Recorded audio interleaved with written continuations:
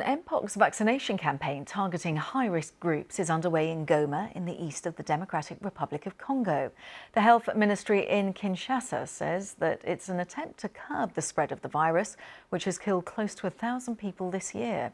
Well, more than 200,000 doses of the Mpox vaccine have been donated by the EU and the US. For more, here's the BBC World Services Africa regional editor, Richard Kagoe. Congolese uh, health officials uh, today uh, launched the country's first Mpox vaccination in the eastern city of Congo.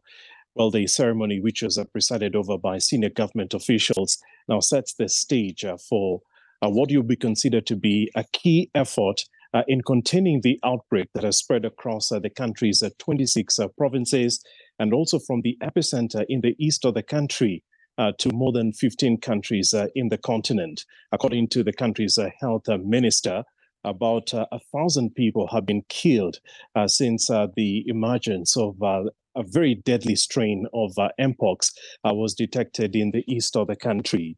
Now, this is a very unique vaccination campaign because it's specifically targeted at people who are at a high risk. So, for instance, uh, those who have pre existing conditions, those who are weak or immunocompromised.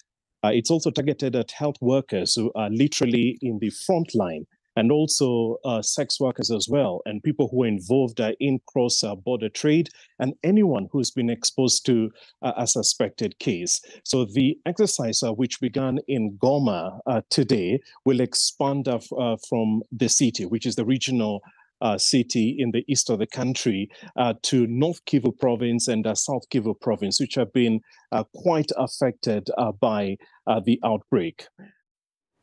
Richard Kagoe reporting there.